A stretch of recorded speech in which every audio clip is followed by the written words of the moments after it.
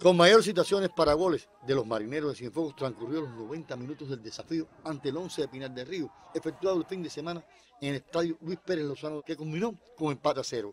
Con ese punto conseguido, pues los de la Perla del Sur llegan a 22 y se clasifican como terceros del Grupo A para el torneo de clausura, dejando sin opciones a los de vuelta abajo de pasar a la próxima etapa. A pesar de que a los pinareños le quedan por efectuar dos desafíos, no podrán alcanzar a los sureños.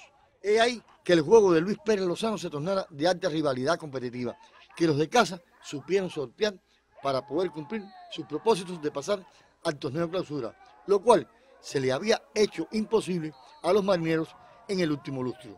El director técnico del once sureño dio sus consideraciones del partido y las expectativas. Salimos a buscar el partido, pero si no se podía ganar es un empate.